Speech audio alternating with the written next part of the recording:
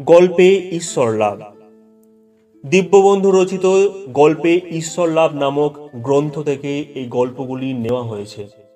এই গল্পগুলির উদ্দেশ্যই মানুষকে ঈশ্বরীয়ভাবে সচেতন করা। আমরা প্রত্যেকেই যে যার মতো সাধনা করি, কেউ জব করি, কেউ ক্রিয়া করি, কেউ নাম করি, কিন্তু তবুও কেন আমরা ঈশ্বরের দর্শন পাই না? আমরা কোথায় আটকে আছি? ঈশ্বর পথের মূল বাধক কি? লেখক ছোট ছোট গল্পের মাধ্যমে বুঝিয়েছেন আমাদের মূল বাধা কোথায়। ঈশ্বর প্রাপ্তি হতে গেলে আমাদের কি কি করণীয়? তাই চলুন, আপনারা যদি এই গল্পগুলি শুনতে চান, তবে আমাদের প্লেলিস্ট গল্পে ঈশ্বর লাভ থেকে আপনারা শুনতে পারেন। এবং এই সমস্ত বইগুলি ডাউনলোড করতে পারেন Dibyabandhu dot blogspot dot com এই ওয়েবসাইটটি থেকে, যেটা আপনারা ফোনে স্ক্রিনে দেখতে পাচ্ছেন। চলুন তবে, আর কথা না বাড়িয়ে আজকের গল্পে আসা যাক। সত্যের সাথে পরিচয়। শিষ্য তার গুরুদেবকে জিজ্ঞাসা করল, গুরুদেব, সত্য কাকে বলে? তার উত্তরে গুরুদেব বললেন, যে থাকলে সব থাকে আর যে না থাকলে কিছুই থাকে না। সেই হলো একমাত্র চেতনা। চেতনা থাকলে তবেই সব কিছু থাকে, নতুবা কিছুই থাকে না। তখন শিষ্য জিজ্ঞাসা করল, জীব, জগৎ, ঈশ্বর কি একই চেতনার এক একটি অবস্থান? এর উত্তরে গুরুদেব বললেন হ্যাঁ যেখানে চেতনা পূর্ণ, তাই হলো ঈশ্বর। যেখানে চেতনা আংশিক প্রকাশ তাই হলো জীব। এবং যেখানে চেতনা অব্যক্ত, তাই হলো জগৎ। তখন শিষ্য জিজ্ঞাসা করল, চেতনার কোন কোন অবস্থানে জীব জগৎ ঈশ্বর হয়? গুরুদেব এর উত্তরে বললেন, চেতনার চৈতন্য হলো ঈশ্বর, চেতনার অবচেতন হলো জীব, এবং চেতনার অচেতন অবস্থা হলো জগৎ।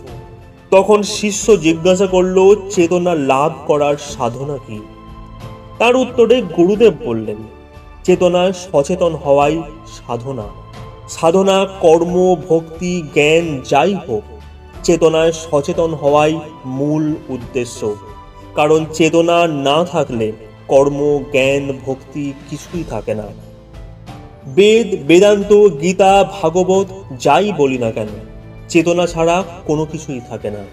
তাই চেতনাই হলো বেদ, বেদান্ত, গীতা ও ভাগবত। চেতনা হতেই শাস্ত্রের সৃষ্টি হয়েছে। আবার চেতনার নামে কর্ম, জ্ঞান, ভক্তি বা যাই মতবাদের কথা বলি না কেন, চেতনা ছাড়া কিছুই সম্ভব নয়। তাই সাধনার উদ্দেশ্য চেতনা লাভ যদি না হয়, তবে যাই করি না কেন, অবচেতনেই থেকে যাব। প্রমাণের নামে যাই বলি না কেন চেতনা ছাড়া তাও সম্ভব নয়। তাই সর্বক্ষেত্রে চেতনাই প্রমাণ। তাই সত্যটাকে এভাবে প্র্যাকটিক্যাল দৃষ্টিকোণে বুঝতে হবে। যে নাস্তিক, সে না বুঝে ঈশ্বরকে যতই অস্বীকার করুক না কেন, যাই যুক্তি দিক না কেন, সেক্ষেত্রে চেতনারই প্রয়োজন হয়। বিজ্ঞান যাই কিছু বলুক না কেন সেন্স ছাড়া কখনোই সায়েন্সের অস্তিত্ব হতে পারে না।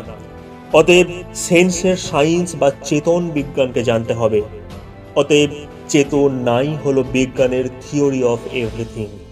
চেতনাই হলো সর্বখলিদং ব্রহ্ম।